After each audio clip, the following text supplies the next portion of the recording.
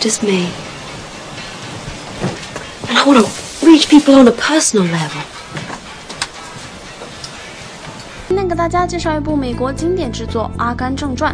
男主帅小哥小时候腿有残疾且智商低下，可母亲并没有放弃，用自己出卖身体赚来的钱，细心体贴地照顾着帅小哥。进入学校以后，没有小朋友愿意和他一起玩，因为他智商低下，还经常遭到同学们的嘲笑。只有一个小女孩不嫌弃他，愿意和他一起玩，还会在帅小哥被欺负时帮助他。帅小哥终于交到了人生中第一个朋友小美，两人形影不离的慢慢慢步入了高中。长大后的帅小哥依然逃不开被欺负的命运。这天，他在躲避欺负自己的同学时，无意中跑进了一个橄榄队的训练场。球队的教练看到帅小哥跑步快到出现残影，一瞬间惊为天人，挖掘他进了大学的球队。但尽管如此，帅小哥的智商依旧不高，按现在的话来说，呆萌的不行。这天，他看到小美和一个男人在车里做羞羞的事情，他竟然以为小美遇到了坏蛋，冲上去就揍了那人一顿。小美在一旁是又气又急，好不容易解决了，帅小哥送小美回宿舍，面对淋了雨、性感漂亮的小美，帅小哥却什么都没做。两人顺利的毕了业，帅小哥从了军，而小美却去了酒吧卖唱。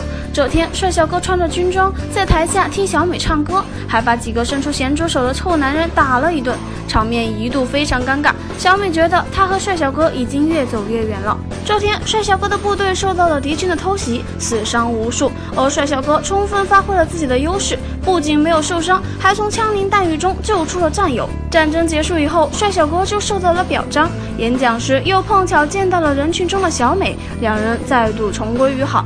但好景不长，小美没过多久就选择了离开，她要去追寻自己的梦想，她想要出名，成为一名歌手。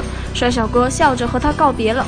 没有了小美以后，他并没有止步不前，他找到了自己人生的方向。于是他近乎偏执地做好自己所有力所能及的事情。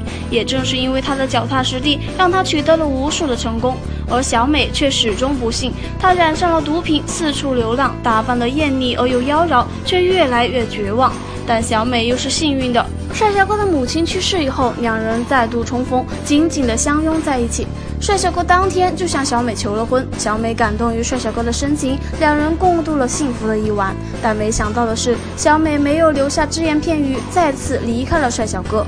帅小哥却根本不知道什么是放弃，他耗费了几年的时间，不知疲倦地奔跑着，寻找着小美的下落。小美在电视上见到他时，帅小哥已经胡子拉碴了，他非常的感动，带着帅小哥的孩子找回了帅小哥，两人终于结婚了。《阿甘正传》是一部非常经典的影片，严肃里带点小幽默，更是穿插了许多的细节，仿佛是美国战后几十年的剪影一般。而影片里的经典台词更是传遍大江南北。人生就像一盒巧克力，你永远不知道你会得到哪一颗。好了，今天的分享就到这里。